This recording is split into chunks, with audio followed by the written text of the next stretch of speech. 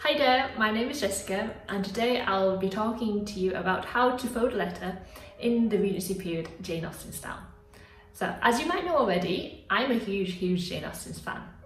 There's something so romantic and so elegant about the Regency period and every time when I finish one of her books, I have this overwhelming need to wear beautiful long flowing dresses, to learn how to play the pianoforte and to write more letters. So today I will be showing you how to fold a letter in the Regency period Jane Austen style. So before I start this tutorial, I think it would be quite useful to talk about letter writing in general in the Regency period. Uh, the Regency period is between 1811 to 1820 and during this time it was actually um, really really expensive to send a letter. Um, the cost of postage could be as high as a day's wages for a working man. And this is the reason why an envelope was not usually used because an envelope would have uh, would be treated as additional sheet of paper and this would have uh, doubled the cost of postage. Uh, so in effect, they did everything that they could to fit a letter on one sheet of paper. And they were actually really, really creative in doing so. And I'll talk to you about this later on in the video. Uh, yeah, so one sheet of paper was used um, as uh, the letter and also the envelope.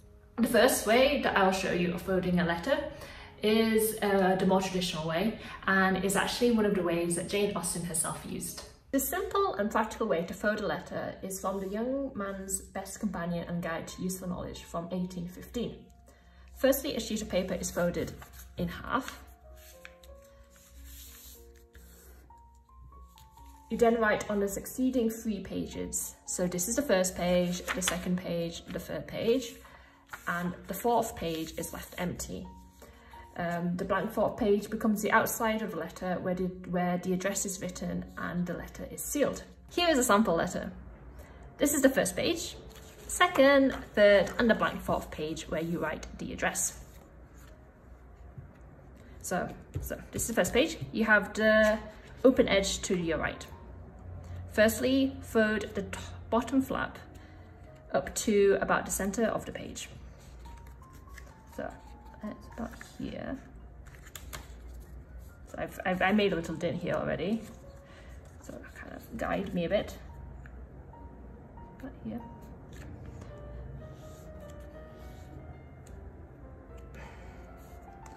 And then fold the top edge to meet it.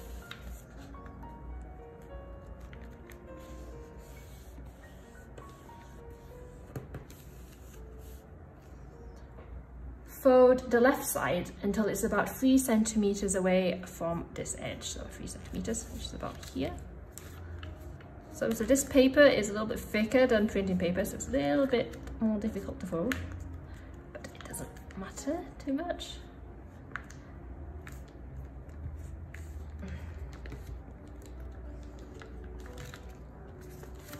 Then you fold down this top flap. So make sure don't, don't fold it down, don't fold it here, fold it a little bit away from that edge.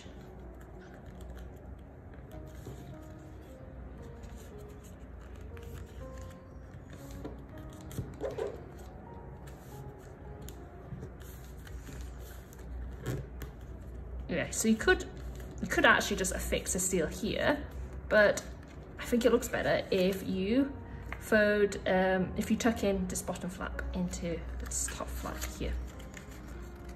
This is the final envelope and I'm going to put um, some sealing wax on it now. Um, I'm going to use some wax sticks because it is uh, more traditional looking. Um, and I think I'll opt for the more darker red colour.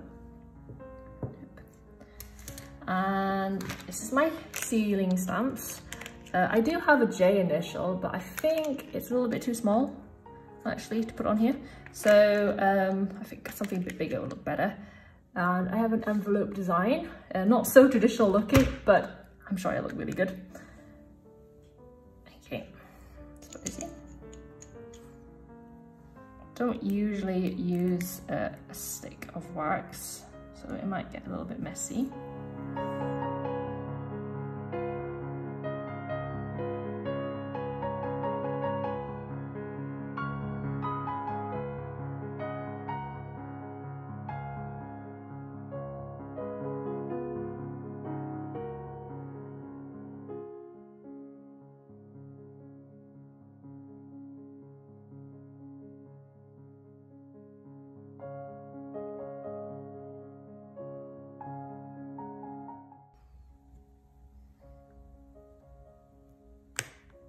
This is the final letter.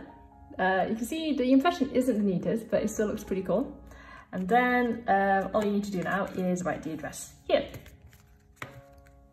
Previously, I said before um, that people are really creative in utilizing one sheet of paper and making sure that um, one sheet of paper was enough to write what they needed to say. And Jane Austen herself was actually uh, a lover of writing long letters. She loved writing long letters and when she ran out of space, um, she would actually write on these flaps here. Yeah, so these flaps here. And if she still needed more space, then she would cross letters. So cross her letters. Um, so this means she would turn her page 90 degrees and then write directly on top of the already written page. And um, here's an example of a cross letter from, uh, from Jane Austen. This is a good way to fold a letter if you have a lot to write, but if you don't, then here are some more alternative ways of folding a letter. So imagine you've written your letter on this uh, side of the page, so here. Turn it and then fold the left side to about the center. I've made a little dent here, so just to help me signify where the center of the page is. So it's around here then. Fold it here, the center. And then fold the right side also to center to meet it. Then fold the bottom edge to about here.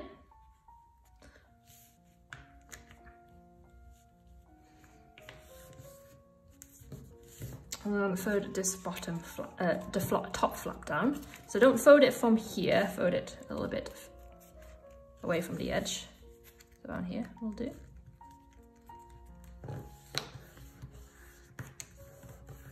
And like before, tuck this bottom flap into the top flap.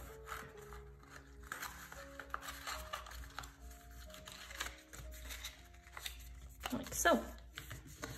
And we can put another stamp um, here.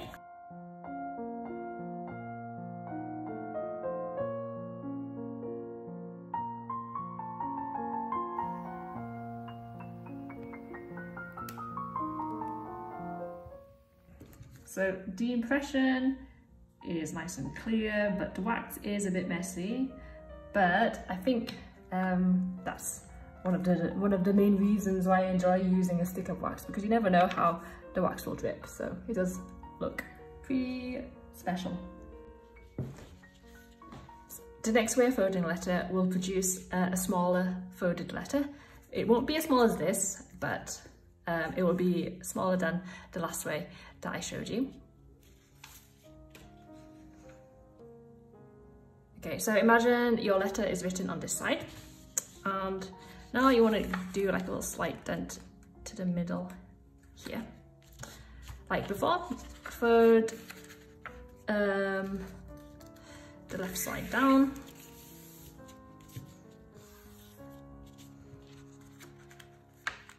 then meet then the right side as well to the center.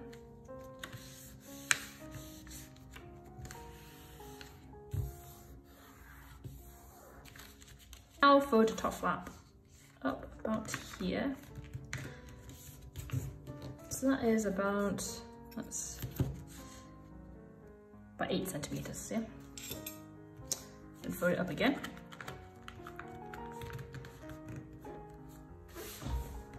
and you fold this is uh, you can fold this flap down here again like this you could just leave um, it like this and affix your sealing stamp here or a sticker or whatever you want to use you can fix it here. But I generally like to tuck this in. So tuck this in here and I'm going to put some sealing wax here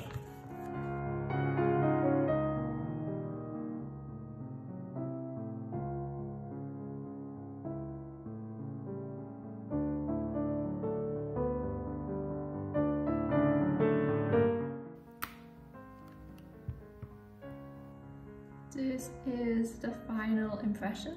Oh, this is actually a little bit neater than the other ones.